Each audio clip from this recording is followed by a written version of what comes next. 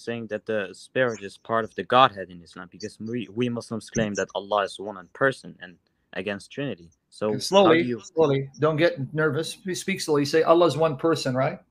Allah is one person, correct. Where does the Quran use the term person for Allah? Uh, it doesn't, but it does. So you're honest. Yeah, that's good. But you're being honest, so it doesn't say one person. That's the assumption on your part. But okay, so no, but the Quran refutes to Trinity. Sorry, for interest. Yeah, you Quran, said the Quran refutes what? The Trinity. Give me the verses. Open up your Quran. Show me. Uh, Allah says that they say that uh, God is the third of three. Third of three what? Persons. It doesn't say that. Why are you adding to? Why do you? Can I ask you Muslims a serious question? Yeah. The Quran accuses Jews and Christians of twisting the scriptures with their tongues, meaning they misinterpret and add to their books. Yeah. You Muslims are guilty because you do the same thing to the Quran. You add words to the Quran and you butcher the Quran by saying things that's not there. Can you show me? And I'll even tell you what verses you're quoting to me. Surah Al-Ma'idah 573, where it says Allah is the third of three persons. Where does it say persons? Or the Arabic equivalent aqanim? Well, it's talking about what the Christians believe. And mm-hmm. Christians say this. The Christians person. do not say Allah is the third of three. Give me a reference historically, archaeologically, textually, that the Christians before and during and after Muhammad said Allah is the third of three, because I have sources that actually use this as an argument against the Quran. But don't you Christians claim that God is one, uh, three persons? No, we don't say God is one. And what? What did you say? Uh, sorry, uh, that God is three persons. Yeah, one but that's not what the Quran says. God, the Quran said Allah is the third of three. The third of three. What you said? Persons, right? Don't yeah. go, don't change the topic. What does the verse say? Five seventy three. They say the they the Christians say that God is the third of three. Can you show me in the Quran what third of three means? I can show you. Read all the way to 75. Open up your Quran, read for me. Uh, Open up Surah Al-Ma'idah, chapter 5, verse 72 to 73. Doesn't the Quran say that uh, in 471 that do not say three to Christians? Okay. Three what? What? Because it says God is one. Can you show me a Christian that denies God is one? So you're not addressing Trinitarianism. But let's go first to 573 to see what third of three means. Read 73 to 75. Yeah. All right. Uh, chapter 5. Surah Al-Ma'idah 573 to 75.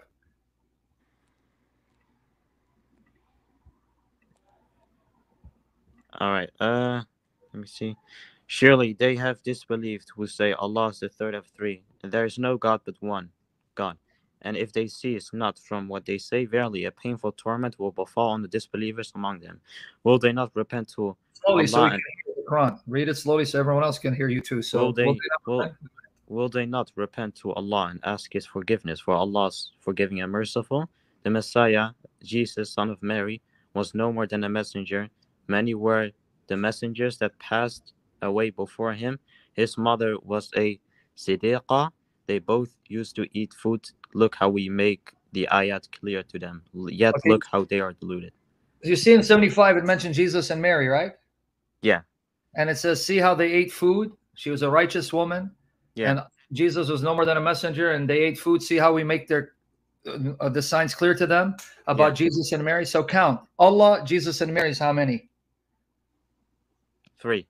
Okay, so why does your Quran mention Mary eating food as a sign to Christians that Jesus and Mary are no more than humans and Jesus is no more than a man, if the Quran is not accusing whoever it is, I'm not going to say Christians, so you say, well, no, no, no, the Quran is addressing some other group. Okay.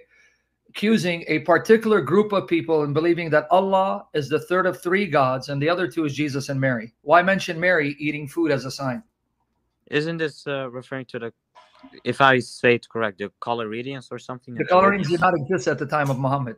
they were have... a group. Yeah, you need to give me the proof because you're citing a group, Collyridians, that were mentioned by Epiphanius in the fourth century, 300 years after Christ, which is before the seventh century. What proof do you have the Collyridians existed at the time Muhammad? I don't. But there's also okay, no. So let's keep it simple. In 73 to 75, Allah is the third of three, and the other two are mentioned Jesus and Mary. Now, can you show me in the Quran where it says there are disbelievers who say Allah's the Father, the Son, and the Holy Spirit? Or there are disbelievers who say Father, Son, Holy Spirit are one ilah? Because that's what the Christians believed and said. Uh, the Holy Spirit's not mentioned in the Quran as the Christians. As believe. as one of those that the Christians believe and are condemned for, right? Yeah, but there's also a verse in the Quran where Allah refutes directly refutes the Christians who claim uh, that Jesus is God, but it does not marry, mention Mary. Does not doesn't, mention Mary. Doesn't mention the Christian belief in deity of Christ. I know what you're referring to. Chapter 5, verse 17 and 72. Doesn't refute what Christians believe or articulated because in 572, the same chapter of the Quran, it says there are disbelievers who say Allah is the Messiah, son of Mary. Yeah, but my point is, is that if uh, Allah really believed that Mary, the Christians believe that Mary is part of the Trinity, then why does he not mention Mary with Jesus when he said that they claim that uh, Jesus is God?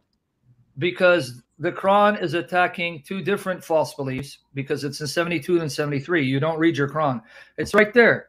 It does the very thing you said it doesn't do. In 572 to 75, let me walk you through it. It first says, they are disbelievers who say Allah is the Messiah, the son of Mary. And then in 73 it says, and they are disbelievers who say Allah is the third of three, and Mary's mentioned in that same context. So what are you talking about? It does mention it. So, uh, but Islamically speaking, that Islamically, uh, Catholics do worship Mary. Islamically speaking. Can you quote me an official statement of the Catholic Church that say that Mary is a God alongside of Allah and Jesus, making it three? No, but the, uh, if I am correct, sir, it's not referring to what they say with their mouths, but their actions. Well, then that means you also are a pagan because by your actions you worship Muhammad. If we go by that logic. Uh, can you explain how? Yes, because your Quran says that apart from Muhammad praying for your forgiveness, Allah will not forgive you, and you must obey Allah and Muhammad equally because the decision of Muhammad is a decision of Allah, and if you don't follow Muhammad, Allah will not love you.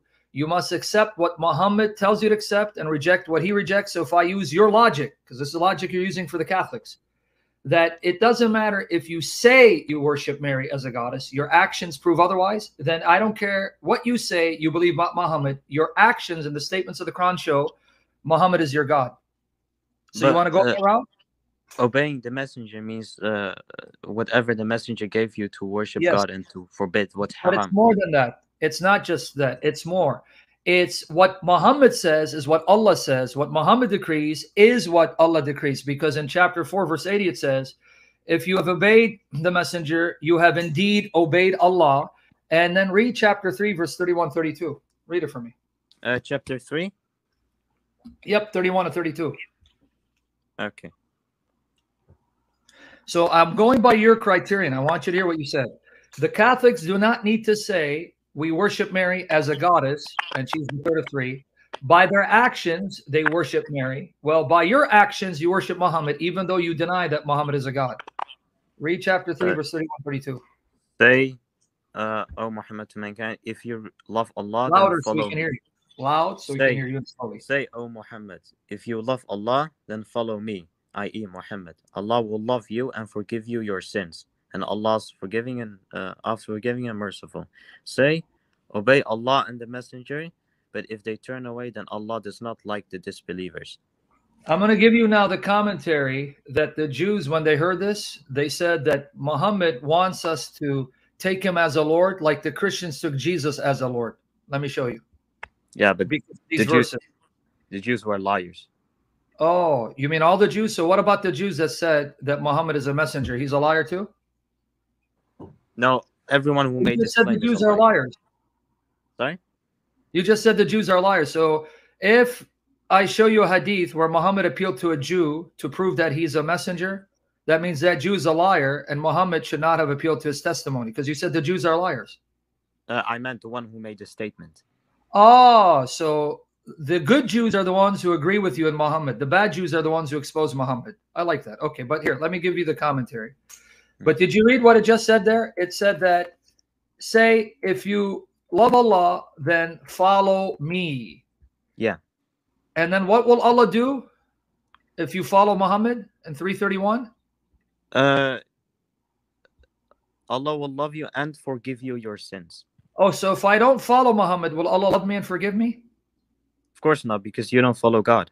Okay, so now by your actions, that means you've made Muhammad your savior and a God alongside of Allah, even though you deny he's God and you worship him as God. See, two can play that game. If you're going to accuse the Catholics of that, I'm going to accuse you of that. But uh, Allah says in the Quran, whatever Muhammad says comes from inspiration. Okay, so then someone can tell you that it was Jesus, the Lord, who honored Mary and venerated Mary and exalted Mary for people to honor her and love her as the blessed mother of the Son of God, not as a goddess. And if you mm. dishonor her, you dishonor Jesus. So why would you then falsely accuse the Catholics?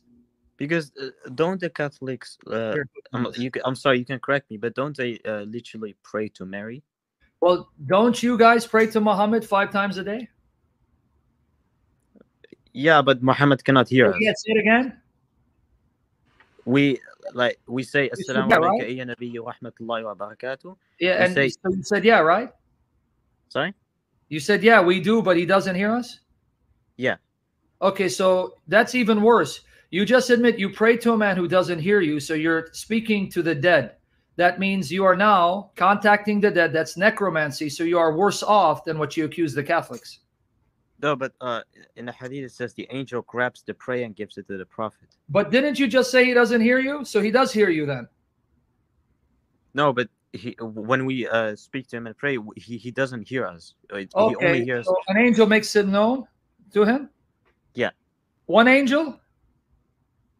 One angel, I have no clue, honestly. Okay, so let's now pl- apply apply your your logic. Just like you pray to Muhammad, and an angel makes Muhammad aware that you're praying to him.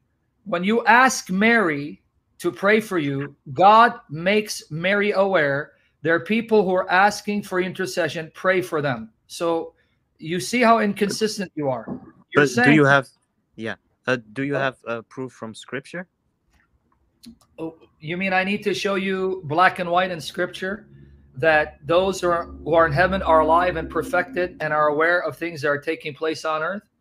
I can show you that if they're alive and perfected, and God makes them aware of things on earth, that means because of that, if Mary's in heaven, and I know you don't deny Mary's in heaven, she's alive, perfected, and God makes known to her things that take place on earth. So I can say, Blessed Mother, pray to your Son, the Lord Jesus, to save me, because your Son is your God and my God. Yeah, I can do that, but I can flip that on you because a lot of what you believe is not in your scripture, the Quran. You still believe it because of extra Quranic sources, right? Like this prayer that you pray to Muhammad. Can yeah. you show me in the Quran where it says pray five times a day?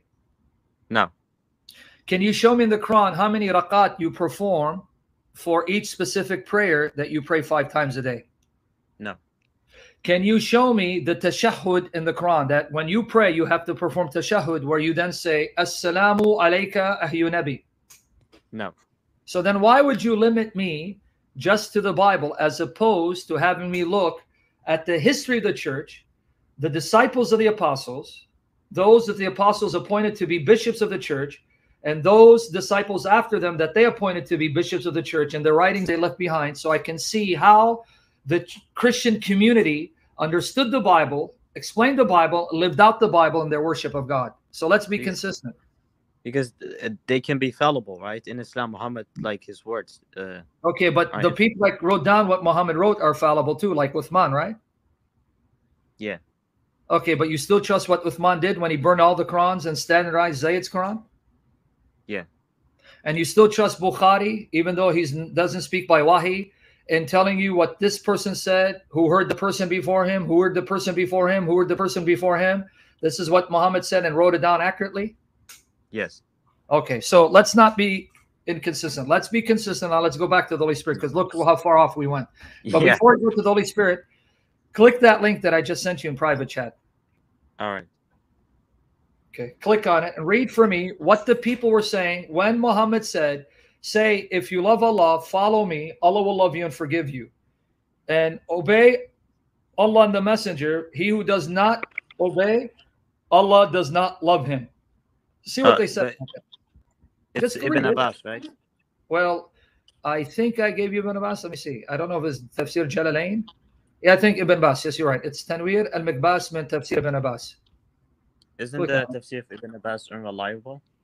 Uh, it's irrelevant whether it's from Ibn Abbas. It's still statements gathered by Muslims that they claim stems from Ibn Abbas, but whether it is from Ibn Abbas or not, the statement is still there nonetheless, telling you what the people thought about this passage, which is the same view I have that you made Muhammad another Christ to replace Christ. But read it for us. But do you have another source that says this? Okay, friend, if we're going to play yeah. the game of false attribution, I can do that with all your hadiths. Can you just first read it to see whether you accept the source or not? At least you have someone who lied in the name of Allah and His Messenger, lied and said, This is what the people said at the time Muhammad. So you're just saying to me, Your people are a nation of liars who make up things and lie and put in the mouth of your prophet. Okay, good. More reason not to be a Muslim. Hmm. But do you want me to read it? Yeah, please. I just gave you the link. Okay. Uh, say, O Muhammad, if you love Allah and His religion, follow me. Follow my religion. Allah will love you. Slowly. He will increase your He will increase your love and forgive you your sins which were committed when you followed Judaism. Allah is forgiving of whoever repents, merciful towards whoever dies in a state of repentance. This verse was revealed about the Jews who claimed they were the children of God and His beloved ones. When this verse was revealed, Abdullah ibn Ubay said, Muhammad is commanding us to love him as the Christians love Jesus. And Abdullah ibn Ubay is not a Jew. He was one of the munafiq, munafiqun, who yeah. followed Muhammad in Medina and opposed him, right? Yeah. So what did Abdullah ibn Ubay say about Muhammad? Uh, he, said Muhammad is commanding us to love him as the Christians love Jesus. Exactly the same thing I just told you that this mm. verse makes Muhammad another Jesus to get Muslims to love Je Muhammad the way we love Jesus. Now, notice the Jews what they say. Finish it. Uh, and the Jews said, Muhammad wants us to take him as a compa- compassionate Lord, just as the Christians took Jesus as a compassionate Lord. So now, if I applied your criterion, just because Catholics don't say they worship Mary as a goddess, their actions prove they do. Same thing. Just because you don't say Muhammad is your Rabb, your Lord, and that you don't worship him, your actions prove you do. So, do we want to play that game or do you want to go back to the spirit now? The spirit. Okay, let's talk about the spirit because you went you you I followed your tangents. You got me here when the subject yeah. is the spirit. So come back to the spirit. What is it about the spirit? Uh, how can you prove uh, it's part of the Godhead? I mean, the Quran shows that the spirit is part of the Godhead because Allah breathed out the spirit, right? Yeah, but if I pick up sand from the ground and I blow it out of my hand, doesn't mean came. Yeah, but me. Allah didn't pick up the spirit from creation and blew it out. It said He blew it out. Blew it out from where? Uh, the angels do the same. They uh, at the fourth the day the they blow out the spirit. I'm talking about the spirit, not your hadith that says the angel then gives the embryo its soul. I'm talking about in the Quran when it says when I have made man from clay and I breathe into him the spirit, or we breathe into Mary's private part, the spirit, that's not the same as you picking up sand and going. How can you prove it, sir? I, I, 6612. I don't need to prove it. Your Quran is proving it. Surah Al Tahrim 6612. What did Allah blow? Uh, okay, let me see there. Uh, chapter 66, verse 12.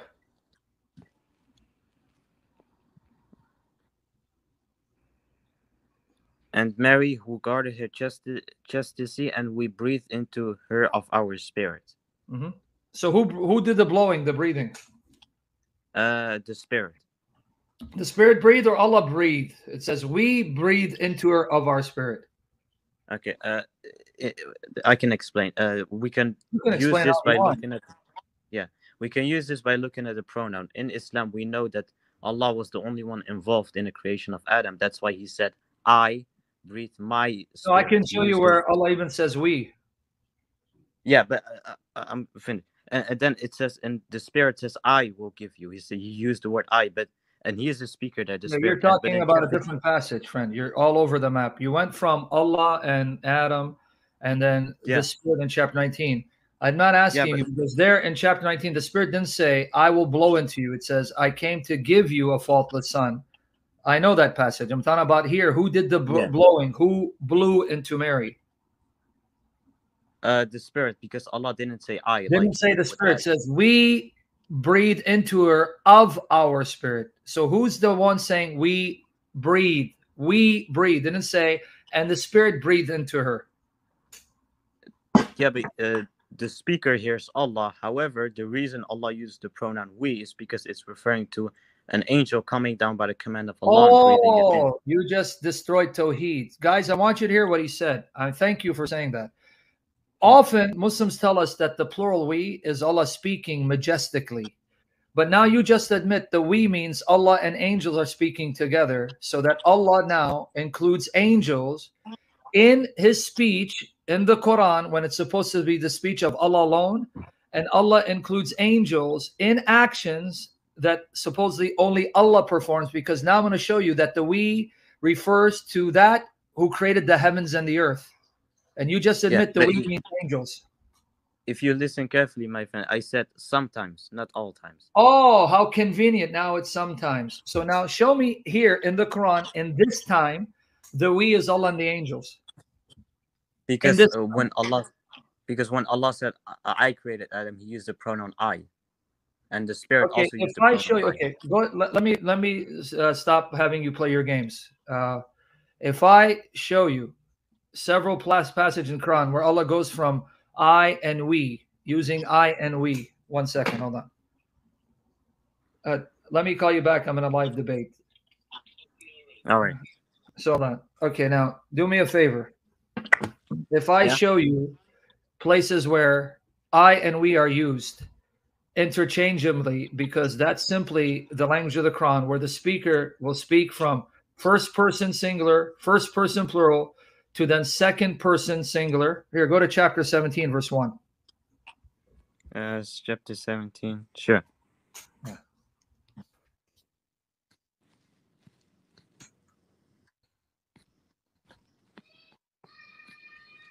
Oh, you got kids in the back. Uh, okay. Uh, uh, glorified be he who took his servant from for a journey by night from Masjid al-Haram to Masjid al-Aqsa, the neighborhood whereof we have blessed, in order that we might show him of our signs. Verily, he is the all-hearer, the seer. Okay, who's the he there? God, And who's the we? in order that we might, uh, it's the plural of majesty. So who is the Of we God. though? So God, can go God. from we to he, and it's still one God speaking, not God and angels. Yeah. Okay. So why do you keep playing the game with me? That well, see with Adam it says I, and that shows it's Allah, but we means Allah and angels. When I gave you an example that the Quran has Allah switching pronouns from we and it's still Allah to he and it's still Allah and to I and it's still Allah. Here, I'll give you an example. Go to Because- 6 114. Uh, 6 1 14. Hmm? The 61 14? 6 114. Okay. Say, shall I seek other than Allah? By the way, the word say is not in the Quran. It's not say. Ah. That's not in the Quran. Kul is not there. Literally, it says, Shall I seek? Okay. Yeah. Uh, shall I seek? Okay. So I just want you, before you read it, I want you to make sure you saw it's not a command to Muhammad to speak. It doesn't say say. That's your English translation butchering the Quran, doing the very thing to the Quran that the Muslims accuse Jews and Christians of doing to their book. The Arabic simply says, Shall I? It doesn't say kul, say. So, shall I seek? Read it slowly.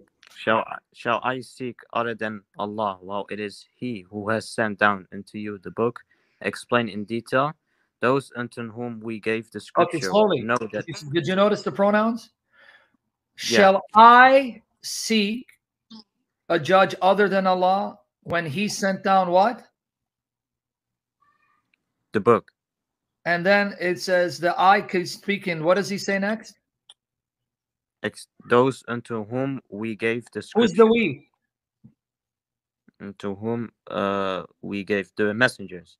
No, we. Who's the we? We gave. Who's the we? Oh, we gave a God. But wait, uh, the same God who said we just began the verse by saying I. So I now becomes we and becomes he, all in the same verse. But uh, right here, isn't it supposed to be Muhammad saying it? No, Allah telling Muhammad. No, it's not. There's not. It's not supposed to be anyone because the Arabic doesn't say kul. Here's what it literally says. I'm going to read it for you. What shall I seek after any judge but Allah? For it is He who sent down to you the book, well distinguished, and those whom we have given the book. Notice sent down from thy Lord with the truth. So be now thou of the daughters. So doubters. So the I is speaking. He says, Shall I seek after any judge besides Allah? For it is He who sent down to you the book, well distinguished, and those whom we, so the is still speaking. The I now says, We have given the book. Well, that can't be Muhammad because Muhammad does not give the book and sent it down.